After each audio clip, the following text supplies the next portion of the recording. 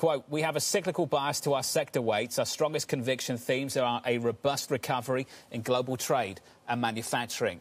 Barry joins us now for more. Barry, fantastic to catch up with you, sir. Can you just walk me through that distinction again?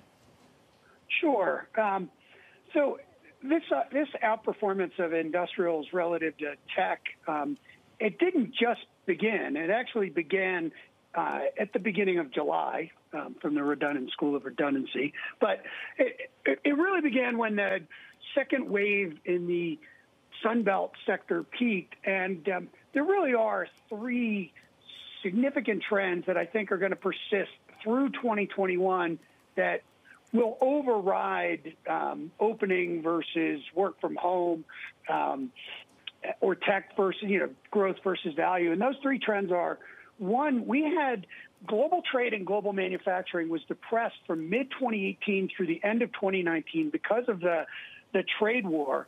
It's the only period since China was integrated into global supply chains where global trade growth was negative and world GDP was positive. So you already had this pent up demand for global trade. The pandemic then obviously further exacerbated that. And now you're just going to get this really strong, robust move. And it'll be a little bit counter trend from a longer term secular trend, secular trend towards deglobalization, but it should be quite robust. I mean, even last night we saw the South Korean exports for the first 20 days of November uh, increase over 11%. So, right, exactly. So this trend we think is going to be really strong. And that, you know, that will help the industrial sector. We should also have a very robust recovery in capex for some of the same reasons, particularly if you get one Republican victory in the Georgia senatorial election and you don't roll back the corporate tax reform from the Tax Cuts and Jobs Act. But same thing, that yeah. was depressed. Business confidence was depressed by the trade war. And so with that snapping back in 2021, you have a really strong trend in capex next year as well. So Barry, let me jump in because this is an important conversation, sure. and I was looking at the same data overnight from South Korea. The export data into Europe, into the United States, into China, really positive, all good news. Is there a risk you confuse a monster inventory build in the back end of this year with some resilience in manufacturing and in the industrial sector?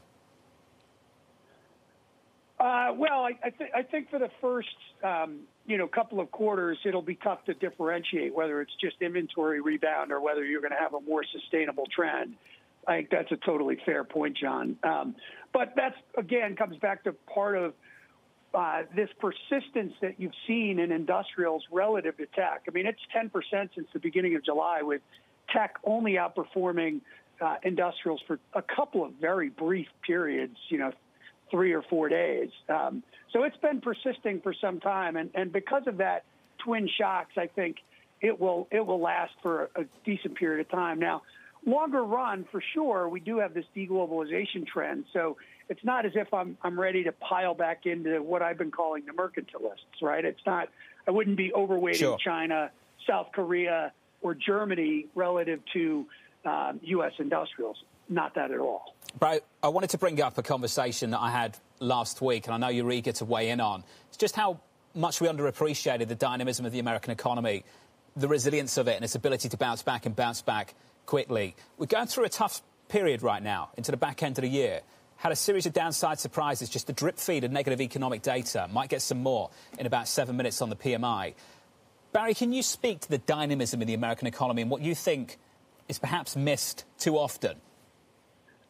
Yeah, I'll, I'll, I'll um, one of the main concepts that I've been focused on for years now, going all the way back to 2014, is dynamism or turnover in the labor market, right? We get fascinated every month with whether we had 100,000 jobs or 200,000 jobs, but yet 25% of that labor market reallocates every quarter, right? Six million jobs are created every month, six million people leave their jobs.